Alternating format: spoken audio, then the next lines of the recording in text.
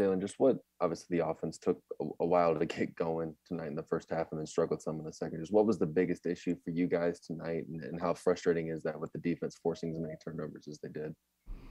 Hey, we just gotta trust the plan uh, and execute the plan, and that's all we can control. Ben Breiner. Um, hey Jalen, what did you kind of see from Luke, especially in the beginning of that second half, kind of locking in? It seemed like he was kind of finding you on a on a couple of dig routes. What did you kind of see clicking and going right in on those plays? Uh, all that all that is right there is just from translating from practice to, to the game. Uh, that's just something that we practice a lot. Dick Cox. On your touchdown down the goal line, tell us a little bit what you saw on that play. Uh, so I seen the I seen the corner strike, uh, thinking it was a run, and then just seeing Luke rolling out, and then he just tossed it up to me.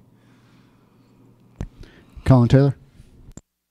Jalen, on that fourth down play, uh, Kentucky's 25. Just what happened on that play, and just kind of what was the message from Luke as, as you guys jogged off the field?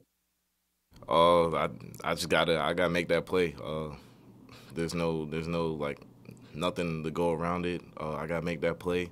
Uh, message from Luke, he just knew I gotta make that play, so he just said, "I know you're gonna make that play next time." So I just gotta make that play. I gotta execute.